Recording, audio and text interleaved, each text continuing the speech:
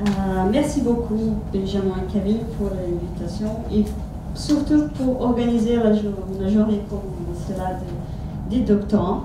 Euh, et sachant que le CRHIA, on organise depuis 2013 une journée pour les doctorants en histoire et aussi les doctorants de la Rochelle et, et, euh, Nantes. Donc le CRHIA, il connaît tout petit peu. Et cette année, quand, Benjamin et Kevin ont parlé de la journée, c'était génial pour nous, les historiens, de connaître ces chemins que vous êtes en train de faire. Et je souhaite vraiment courage pour les prochaines Alors, euh, je voudrais dire, je voudrais parler tout petit peu de mon sujet de thèse. Euh, il s'appelle euh, entre la France, entre France et Brésil, l'itinéraire athlétique de Michel-Marie Derrion, 1803-1850. Donc, c'est une biographie. Et, je suis doctorante in tutelle entre la France et le Brésil, sous la direction de Laurent Vidal et Tania Regina Diloup. le projet, il est né en 2009, quand la France a organisé l'année de la France au Brésil. Donc on avait aussi réfléchi quelque chose sur ce personnage qui a vécu au Brésil pendant 10 ans à peu près, euh, qui a disparu et personne ne le connaît, sauf moi, bien sûr. et là, c'était la première question que je me posais quand j'ai connu l'histoire de ce monsieur, de cet homme, de cet lyonnais de, la première moitié du 19e siècle.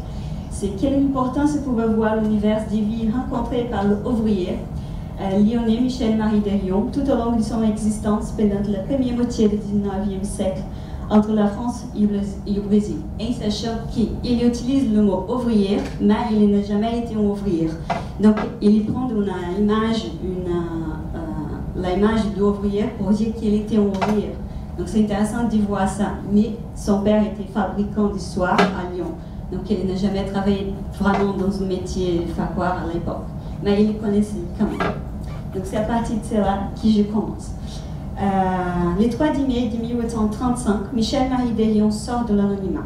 Ce jour-là, il incarne pour le journal lyonnais l'indicateur, l'image de la réforme commerciale et de l'économie industrielle dans le quartier de la Croix-Rousse.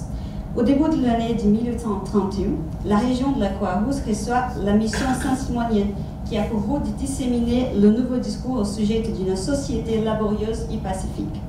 Les conférences ont lieu à la place Saint-Clair, la rue Saint-Dominique et la place Saint-Denis.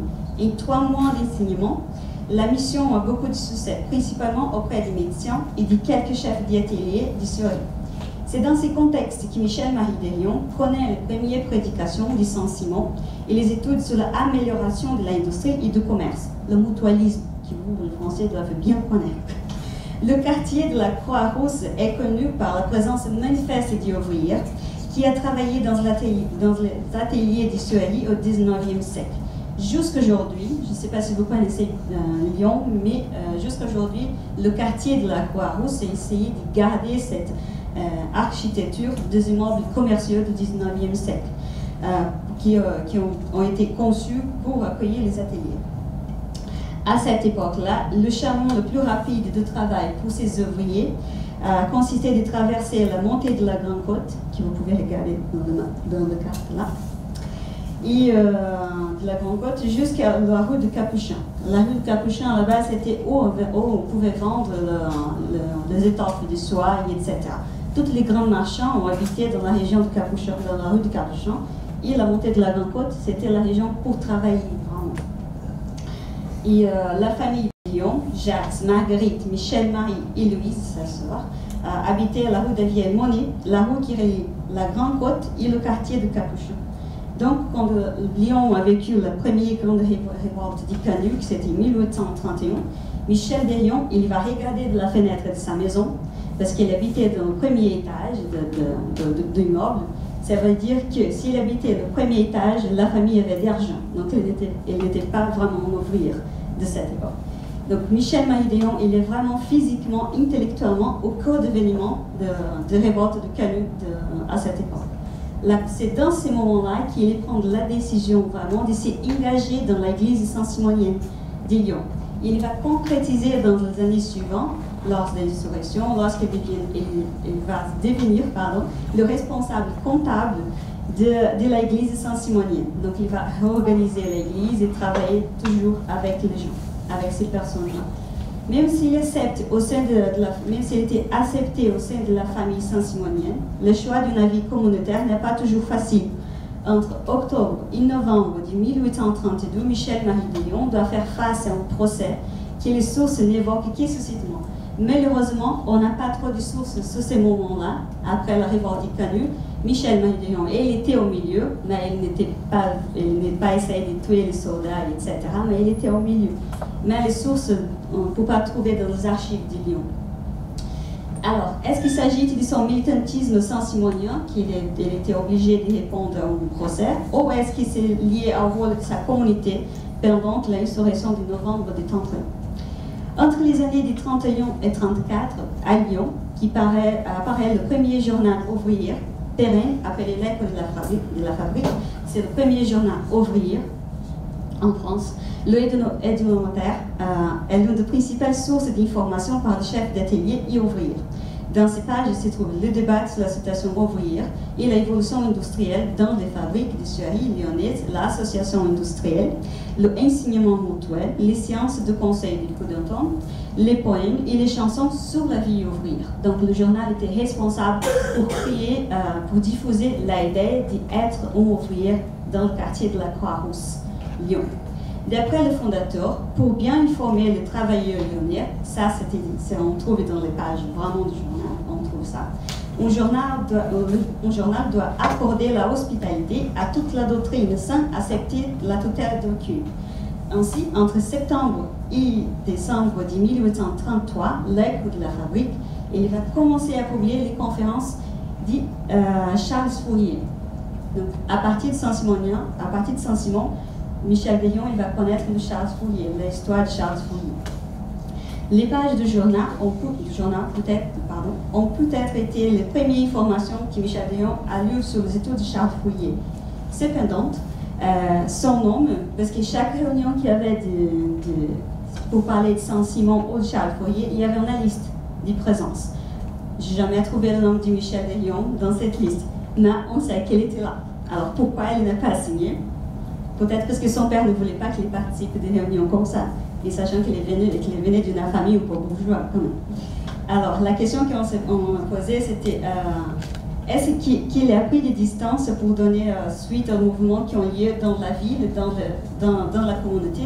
C'est-à-dire, ça sera qu'il n'ait pas voulu mettre son nom dans la liste parce qu'il ne voulait pas que les gens sachent qu'il était là, ou parce qu'il était encore lié au procès de la révolte du Canu du 31. En tout cas, l'acte de la fabrique ferme ses portes au début des années 34. Euh, lorsque la deuxième révolte du Canut s'est achevée, le journal qui essaye toujours de promouvoir l'idée qui dans, dans les esprits de l'influence Fourier, se soit combiné avec les Saint-Simoniens a été reprise par le journal L'Indicateur. Michel Derion coopère activement avec le dernier, avec ces derniers, il publie des articles et correspondances sur l'amélioration industrielle et l'égoïsme. Euh, c'est dans ces moments-là, le 3 mai, qu'il va apparaître dans le journal, donc l'image qu'on a, vue euh, avant. La deuxième insurrection du Canu arrive en 1934, après l'échec des grèves des Frévières dans le quartier de la Croix-Rousse, euh, le jugement des meneurs et le vote de la loi contre les associations ouvrières. Donc Michel de Lyon lui-même opposé à la violence, il n'a jamais été dans la rue pour, pour, participer de la révolution du Canu, de la révolte du Canu, pardon. Il ne participe pas de la, nouvelle insurrection. Pendant les jours, pendant les jours et les soirs, dès la semaine sanglante, comme on connaît euh, au milieu du Canu, la révolte, il va écrire sa brochure, qui c'est ce livre-là. Il va écrire une brochure tout le soir. Euh, qui s'appelle La Constitution de l'industrie et organisation pacifique du commerce et du travail ou une tentative de fabricant de Lyon. Parmi les publications, la brochure et les articles, Michel Delion il lance au journal L'Indicateur l'appel à, souscription pour le financement et de la ouverture d'une épicerie sociale. Le but de cette coopérative à long terme est de promouvoir une répartition équitable des richesses et de l'harmonisation de toutes les classes. Donc ça, c'était le but. Euh, pour essai commercial, Michel Derion a eu le soutien financier de ses amis, Saint-Simonien et Fourieristes aussi. L'épicerie a ouvert 7 magasins entre 35 et 37 dans la Croix-Rousse. Cependant, en 1937, l'économie lyonnaise elle a commencé à se dégrader et Michel Lyon est obligé de fermer les magasins. Il, décide de se réfugier à Paris. Installé à Paris, chez les compatriotes lyonnais saint-simoniens, parce qu'il y avait à Paris dans cette époque, dans les années 40, un quartier euh, construit qui est pour Saint-Simonien, euh, qui c'est le quartier de Saint-Marie. Michel Delion occupe un modeste emploi et vit de manière précaire. Euh, même s'il partage les premiers moments à Paris avec ses frères saint-simoniens, c'est au milieu du groupe fourriériste parisien qu'il forge de nouvelles relations. Donc là, on va voir le journal Le Nouveau Monde, avec qui il va, participer, il va participer, il va écrire des articles aussi. Proche des travailleurs du journal du Nouveau Monde, au mois d'avril 1941, Michel Deyon et des autres sociétaires discutent et votent le manifeste et le statut de l'Union industrielle. Voilà le manifeste. Qui a le mot Brésil? Très, tout petit, mais le, mot Brésil apparaît. Euh, ces derniers qui ont été basés dans l'étude de Charles Fourier, les statuts, les statuts et l'Union industrielle, euh, doivent ériger la nouvelle société au Nouveau Monde. Ainsi, un délégué, Benoît Jules Mouret, docteur, homéopathe, né à Lyon aussi, et fourriériste aussi, euh, est envoyé au Brésil afin d'effectuer les démarches nécessaires pour l'obtention des terres et des financements du gouvernement brésilien.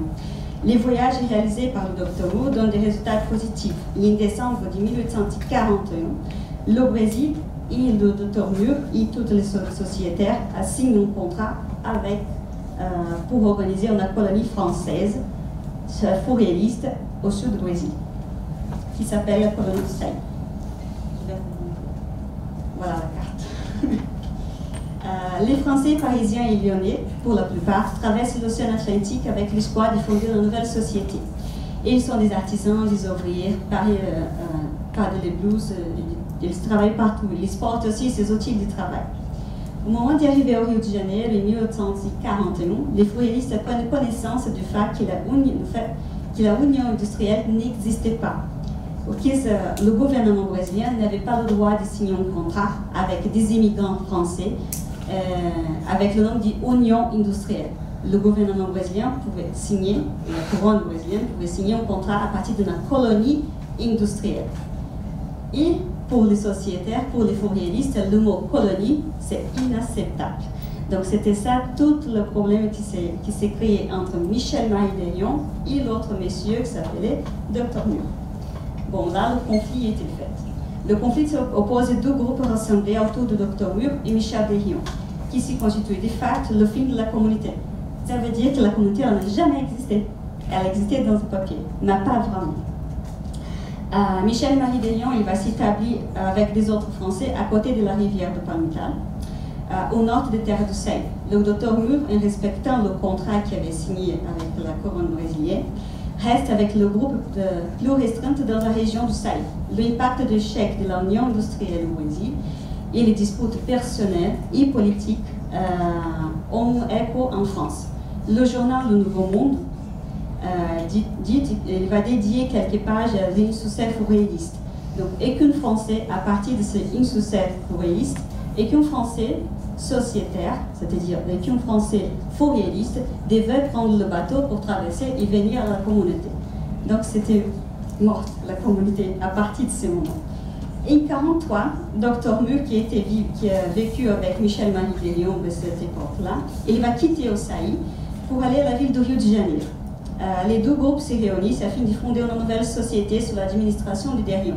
Donc Derion est SEI quand même, qui s'appelle la Société industrielle du SEI. Cependant, l'inspecteur du gouvernement brésilien désigné, il, va faire son travail, il va écrire des rapports et dire que la colonie n'existait pas. La société industrielle du SEI n'existait pas. C'est-à-dire, il n'existait rien du tout qu'est-ce qui va se passer? Donc le gouvernement brésilien ne voulait pas laisser ces Français sans la terre, sans travail. L'empereur, l'empereur Dom Pedro II, lui-même, il va envoyer une lettre à chaque euh, Français de cette colonie pour dire qu'ils peuvent rester dans le territoire brésilien s'ils sont capables de, travailler comme agriculteurs.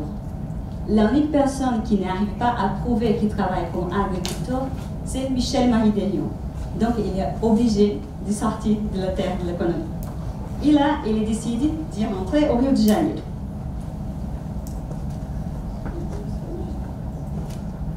Ah, ça sont les images qu'on euh, pour connaître la, région de la colonie de Saïd, on doit quand même voyager à l'intérieur. Donc là, c'était une aventure à l'Indiana Jones pour connaître la, localisation de la colonie. Euh, entre autres de 1844 et, décembre de 1944, Michel de Lyon rédige, trois lettres en réponse aux autorités du Brésil afin de, de donner une explication de pourquoi la colonie n'a pas marché. Pourtant, il 30 d'août de 1845, il est obligé de quitter les terres il va habiter au Rio de Janeiro. Lorsque Michel-Marie Delion arrive au Rio de Janeiro, la première personne qui va parler, bien sûr, c'est la première personne avec qui il était fâché d'autres murs, avec qui il était au conflit social. Ce dernier lui donne le travail, euh, il va le, pardon, Dr. Wu va lui donner le travail, il va aussi organiser un, nouveau, nouvel groupe de, socialistes à Rio de Janeiro. Dès qu'il Rio de Janeiro, grâce, grâce à Benoît Jules Mur, Michel Delion reprend contact avec un petit groupe foréliste. En 1948, il commence à donner des cours de musique. Là, c'est la région de Rio de Janeiro, il va s'établir. C'est super important de connaître parce que toutes les amitiés, le réseau social qu'il va organiser des fourriéristes habitent toutes euh, sont tous des Français qui habitent dans la même rue. Donc, à partir de la vie de Michel Déon, on a pu construire un réseau des Français, des Français ouvriers qui ont, été au Brésil euh, pendant la première moitié du 19e siècle.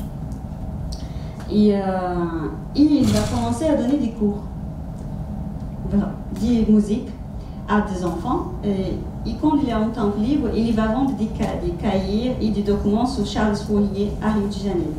Ses relations personnelles sont toujours avec des Français, autant qu'entre les années 49 et 50, il va apparaître comme membre de la Société française de bienfaillance.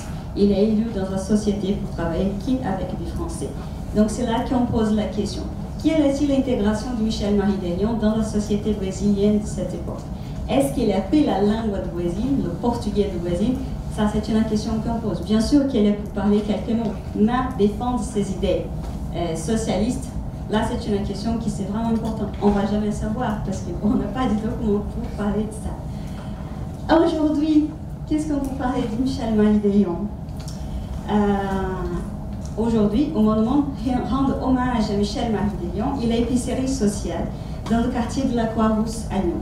Le monument est érigé par, sur les pentes de plateau de la Croix-Rousse. Il est érigé en 1923. Sous les sculptures de pierre, un vase en forme de tulipe, on peut voir le visage de Michel-Marie Lyon. Ces traces de la mémoire historique ont été conçues par le groupe d'études coopérateurs de Lyon Paris, entre les années de 1900, et 1950. Sur Internet, chaque fois qu'on va taper Michel-Marie Lyon et ses idées, elles sont toujours liées au mouvement anarchiste, et sachant qu'elle n'était pas anarchiste. Alors, il a toujours des soucis avec quand on parle du concept du socialisme, et socialiste, anarchiste, communiste et fourriériste. De Lyon est le plus souvent présenté comme le premier coopérateur industriel, ça c'est notre expression qu'on trouve, et qualifié comme homme d'avant-garde. En 2000, un colloque a été réalisé en une petite brochure publiée et sans mémoire. Sur les cartes touristiques de l'histoire de la ville de Lyon, aujourd'hui, on peut trouver au musée de son hommage. Il y a plein de détails de Michel Marie Délion dans la ville aujourd'hui. Au Brésil, il n'existait rien du tout, sauf moi maintenant. et euh, l'unique chose qu'on peut voir dans, l'ancienne colonie qu'elle essaye de monter, c'est juste une petite lettre qu'une madame a trouvée au milieu des documents perdus dans les archives au, sud du Brésil. Juste pour finir, alors, euh, Né en 1803, Michel-Marie Deyon vit une importante partie de sa vie aux alentours du quartier de la Croix-Rousse à Lyon. Fils d'un fabricant de soie, il s'engage au mouvement saint-simonien et fourriériste. Sa façon de voir et vivre son époque est d'une certaine manière un engagement entre les expériences politiques et humaines, entre France et Brésil. Plus qu'une biographie chronologique ou basée sur une discontinuité temporelle, proposition qui ne pêche pas l'originalité d'une narration d'une histoire. C'est une réflexion sur les échanges de pensées idéologiques et sociaux qui déterminent la vie atlantique de Michel Marie Parce qu'il n'était pas la même personne du début à la fin. En France, on voit un homme imbriqué d'idéologie industrielle liée à la cause ouvrière et à la famille euh, saint-simonienne et fourriériste. Cependant, lorsqu'il vit les ruines d'une colonie industrielle au Brésil, son regard envers, euh, ses engagements sociaux il va changer. Pendant sa vie au Rio de Janeiro, ou même au Saï, on ne voit jamais toutes les lettres qu'il a laissées, on ne voit jamais il a parlé de, la société brésilienne, de la plupart de la population qui était illettrée, ou même de, des immigrants qui habitaient dans la rue, ou même des esclaves, qu'on savait très bien qu'il y avait des esclaves dans la rue. Il ne parle jamais de ça. Pourtant, avant de mourir, il va dire Je reconnais les sentiments phalastériens. C'est un moment drôle de voir ça, qu'il reconnaît les sentiments par rapport aux autres personnes. Mais quelle personne il reconnaît ces sentiments phalastériens En tout cas, Michel de Lyon est mort à 12 mars 1850 à Rio de Janeiro, tout seul. Et là, c'est une. dix jours avant sa mort, il va laisser cette lettre-là. Pardon, c'est 1847 il va dire que j'ai fait de temps en temps des annonces sur les journaux, tout cela coûte assez. Ma patience, il faut bien euh, s'aimer avant de l'écrire. Heureusement que je ne fatigue pas facilement. Mais pourtant, il fait toujours des, annonces en français, pour les Français, pour la communauté française. C'est-à-dire que le changement, la, révolution qu'il voudrait faire à partir des idées des, des fourriers, elle était liée à une communauté spécifique, la française peu importe quel coin du monde, les États-Unis, au Brésil, euh, en France, peu importe. Elle était liée au français. Donc c'est tout un petit peu de la vie de Michel Lyon que je vais vous montrer. C'est un homme ordinaire, c'est pas une personne très, pas importante, mais c'est quelqu'un qui a laissé des traces d'une pensée du 19e siècle qui aujourd'hui pour nous, c'est important de connaître. Voilà. Merci.